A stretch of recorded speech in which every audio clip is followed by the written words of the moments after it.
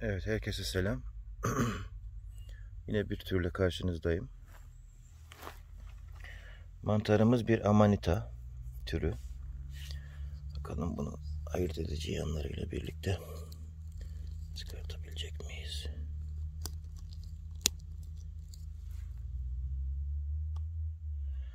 Evet.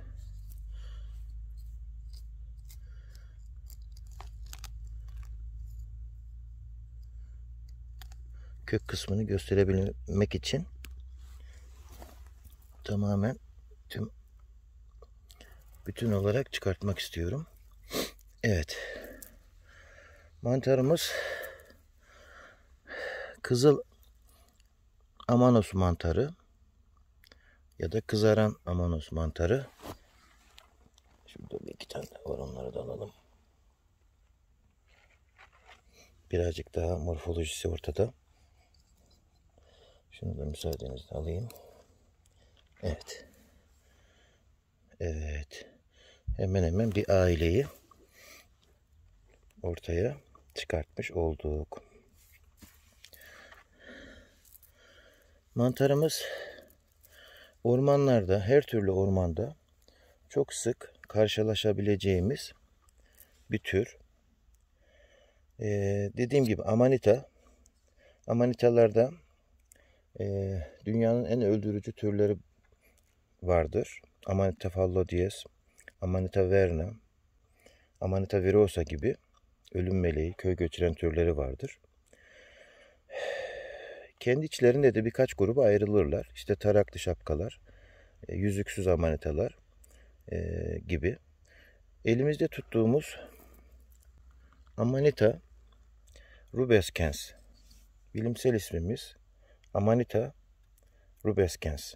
Şöyle şapka üstüne baktığımızda e, Amanita panterina veya ona benzeyen birkaç türü anımsatır. Peçe kalıntıları üzerinde vardır ama bunlar bakın ıslanmış. Şöyle elimle şöyle kolaylıkla çıkabilir. Şöyle gördüğünüz gibi tüm amanitalardaki peçeler ıslandığında kolaylıkla çıkabilir. Çünkü bu peçeler aşağıdaki e, volvanın kalıntılarıdır. E, mantarımızın şapka üzerinde mutlaka peçe kalıntıları taze örneklerde bu kadar sık büyüdükçe daha genişleyen e, şu şekilde peçe kalıntıları vardır. Tabiri caizse benekleri vardır. E, kocaman bir yüzüğü vardır. Bu yüzük e, lamellerini kapatan bir kapaktır aslında.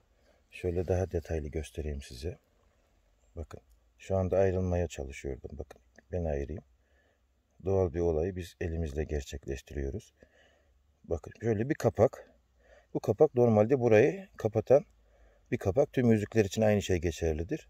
Spor organları örten örtü diyelim. Daha sonra bu bir yüzüğe dönüşüyor. Şöyle ayırayım ben iyice. Bu olayda bizzat kendimiz görmüş olduk. Bu yüzük gördüğünüz gibi yüzük oluyor ama daha sonradan da onu da göstereyim. Şöyle düşüp kaybolabilir. Yüzüğümüz var. Benekli şapka üstü. Kahverengi tonlarında. Ee, bu mantarda volva yani çorabımız belirgin değildir. Ee, çorap topuz şeklinde bir köke dönüşür. Bakalım ne kadarını fark edebileceğiz. Evet çorap tamamen ortadan kaybolmuş. Ve bir top olmuş gördüğünüz gibi. Bu mantarın kökü mutlaka bu şekilde topuz gibidir. Şapkaya doğru çıktıkça da incelir. Şunda da gördüğünüz gibi çivi gibi.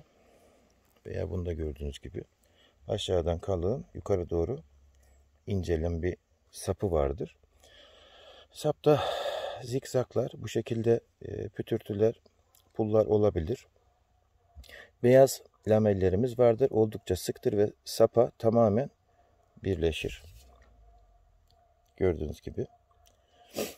Bu mantarın en ayırt edici özelliği e, kırmızı tonlarda lekeler barındırması. Mesela e, kökte görebiliyorsunuz. Şurada görebiliyorsunuz.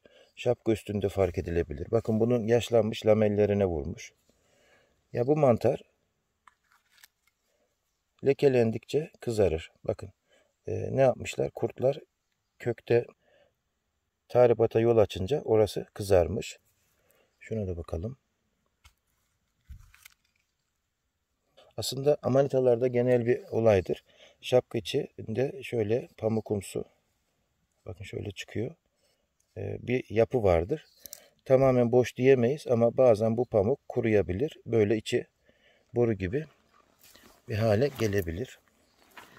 Amanita cins ismi Amanos dağlarında gelen anlamı taşır. Rubeskens ise kırmızı kızaran anlamları taşır. Amanita rubeskens literatürde yenilebilir bir türdür. Ben tükettim. E, piştikten sonra şöyle bir çiğ kokusunu bir bakayım. Hiçbir koku alamıyoruz. Piştikten sonra bu mantar canlı koyun gibi kokar. Benim aldığım, tespit ettiğim e, koku o. Pişti. E, oldukça yumuşak, çörek mantarının e, olgunlarındaki o e, lapa halini alıyor bu mantar piştiğinde.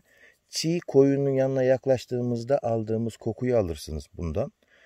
E, benim için aman aman bir mantar değildi ama yememek adı amanet olduğu için, karıştırılabilir olduğu için yememek en akıllıca olanıdır. Ee, bu mantarın başka bir yanı da şudur. Ee, çok yüzlü bir mantar.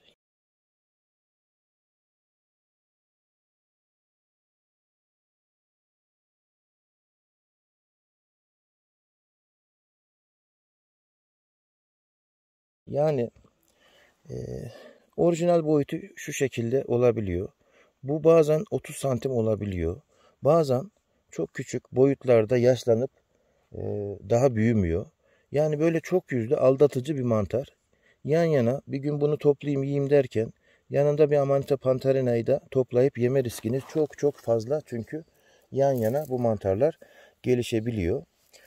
Ee, ben iğne yapraklı ormanlarda da buluyorum. Geniş yapraklı ormanlarda da rastlıyorum. Çok fazla olan, çok e, e, çok fazla gelişen gruplar halinde genelde olan bir tür. Şu anda etrafında oldukça var. Kimisi çürümüş.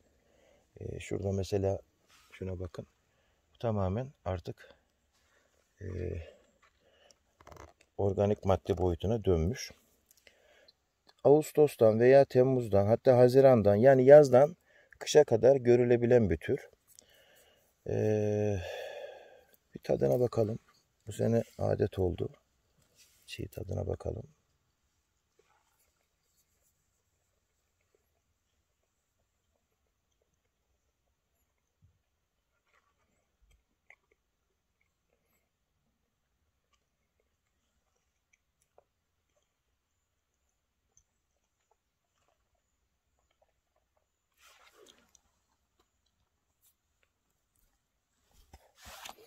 Evet. Aldığım tat birebir çayır mantarı veya Amanita Sezar imparator mantarı tadı aldım. Şu an için bir acılık yok. Hmm, hafiften bir dilimin arkalarına doğru sıvısı geçtikçe hafiften bir yakma e, söz konusu. Hı hı. Evet. Bu mantar kesinlikle çiğ yenmez. Yiyeceksek illaki mutlaka iyi pişirmeliyiz. Oo, iyi güzel bir yakıyor şu anda. Tüm damağım, e, damağımı değil dilimin üzerinde. Acı e, ve hafif yakma sodamsı bir tat bıraktı. E, kokusu belirgin değil dediğim gibi.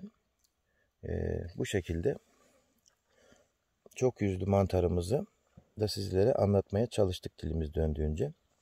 Bir sonraki mantarda görüşmek üzere.